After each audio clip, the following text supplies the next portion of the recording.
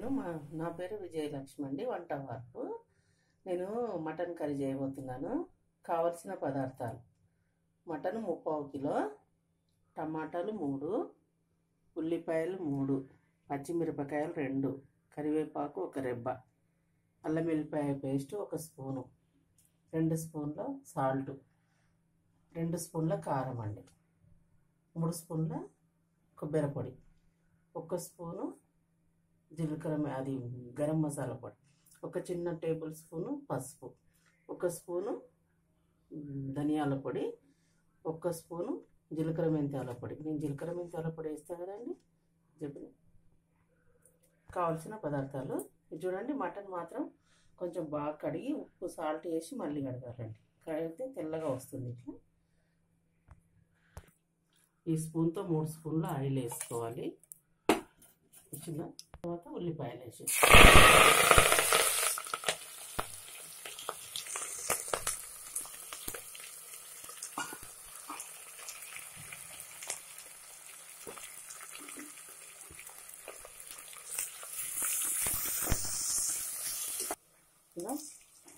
చూస్తున్నాం. ఉల్లిపాయలు చాలా ఫ్రై అయిపోయినాయి చూడండి. ఇప్పుడు అల్లం వెల్లిపాయ పేస్ట్ వేస్తాం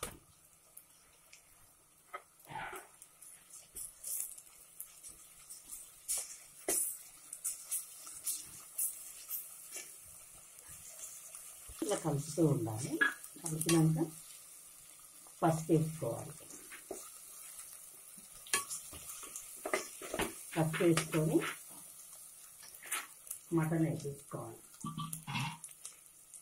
చూడండి మటన్ వేసేసుకోవాలి.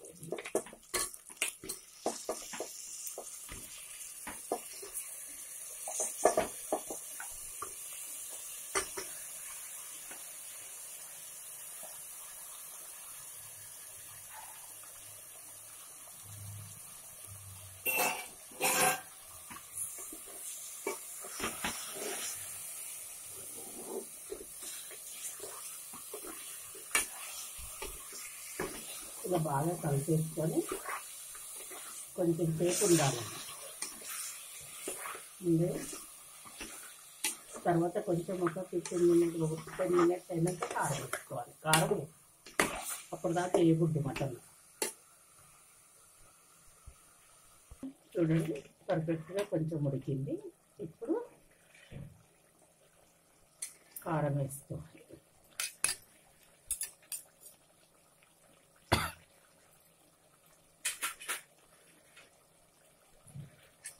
సాల్ట్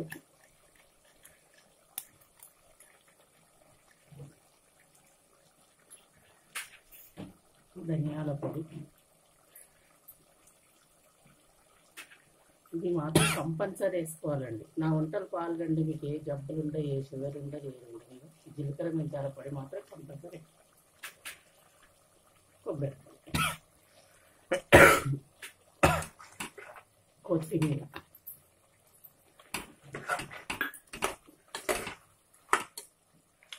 టమాటా నేను అన్నీ వేసేస్తాను వేసేసి ఒక గ్లాసు వాటర్ వేస్తాను దీంట్లో మటన్లో అయితే చికెన్లో వేయను.